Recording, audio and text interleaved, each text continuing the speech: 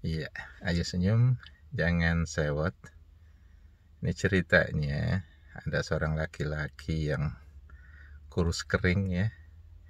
Uh, dia akan menikahi seorang wanita yang kekar. Nah, jadi dia ini bingung dia bagaimana menghadapi istrinya nanti ya. Calon istrinya kalau udah menjadi istrinya nanti ya. Karena dia kan lebih kekar ya istrinya itu. Jadi dia minta pendapat teman-temannya lah. Jadi ini kesalahan dia ya. Harusnya minta nasihat ustadz gitu ya. Dia minta nasihat teman-temannya. Jadi teman-temannya bilang gini ya kamu harus menaklukkan istrimu. Gimana caranya? Nah gini kata temannya nanti ya di malam pengantin ya kamu taruh apa namanya kucing ya ikat kucing taruh di bawah kasur ya kan? Taruh di bawah tempat tidur. Nanti pas begitu kamu masuk itu ya keluarin kucing itu terus gebukin kucing itu ya sampai mati. Udah gitu lempar keluar jendela.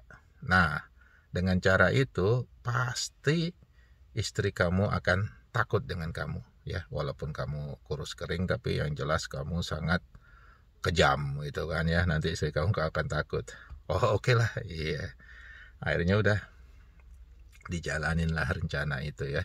Ditaruh sama dia kucing di bawah tempat tidur. Dia taruh juga apa pentungan ya di bawah tempat tidur nah pada saat masuk ya malam pertama itu langsung dikeluarin kucing itu dari tempat bawah tempat tidur dipukulin ya.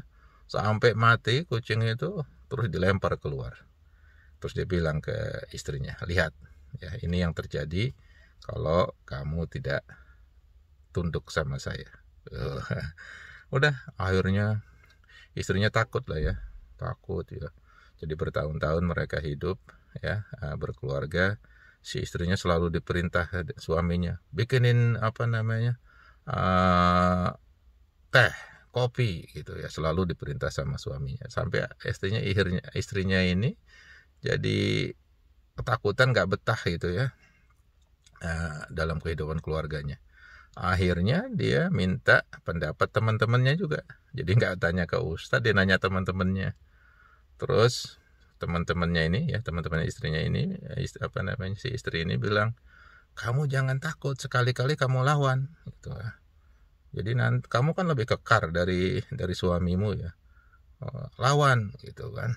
Udah didengerin dah tuh ya apa namanya uh, pendapat teman-temannya itu. Wah suatu hari ya sore ya istri suaminya pulang minta teh istriku mana teh ini? Biasanya udah ada di sini kok nggak ada ingat kucing nggak kamu? Katanya. Gitu kan. Wah kemudian istrinya karena udah mendapat nasihat dari temennya ini balas. Nggak mau gitu kan. Kamu bikin apa namanya saya nggak mau nyediain kamu nggak mau nggak mau diperintah perintah kamu gitu kan. Nah, terus kata suaminya kamu bikin nggak? Kalau tidak kata suaminya. Terus kata istrinya kalau tidak apa ya udah kalau tidak saya bikin sendiri. Rupanya takut juga si suami sama istrinya. Ya udah kita gitu aja ya. Ayo senyum